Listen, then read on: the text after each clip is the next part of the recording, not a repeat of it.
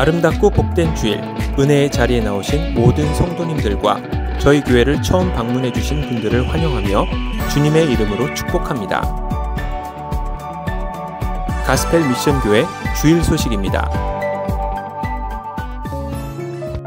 Harvest Fest 2023 10월 31일 화요일 오후 4시 30분에서 6시 30분 Gospel Mission 교회는 아래와 같은 다양한 이벤트를 준비했습니다.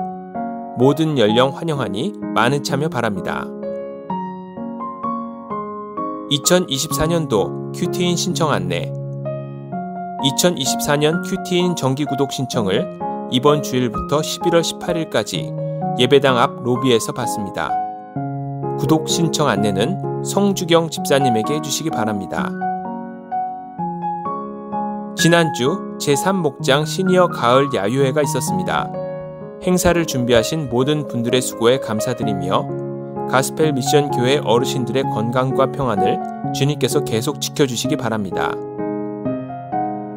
Young Life에서 알립니다.